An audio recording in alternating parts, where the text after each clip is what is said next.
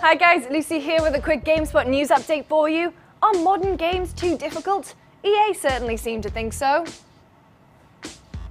At the DICE Summit in Las Vegas, EA's Chief Creative Officer Richard Hilleman spoke about how video games today are often too hard to learn for new players. During an on-stage interview with some other developers, Hilleman said, Our games are actually still too hard to learn. The average player probably spends two hours to learn how to play the most basic game. And asking for two hours of somebody's time, most of our customers, between their normal family lives, to find two contiguous hours to concentrate on learning how to play a video game is a big ask. Sure thing, Rich. Hilleman's comments came in response to a statement from interviewer Pete Holmes, the comedian, who said he would prefer that controller layouts and button maps stay the same for future installments in established series and even across franchises. Also on stage for the interview was Middle-earth Shadow of Mordor design director Michael DePlater, who says that he thinks we'll see more and more games adopt RPG systems in the future. He said, every game is an RPG now. You wouldn't make a game without progression and levels in XP, and I think every game is going to be a social game.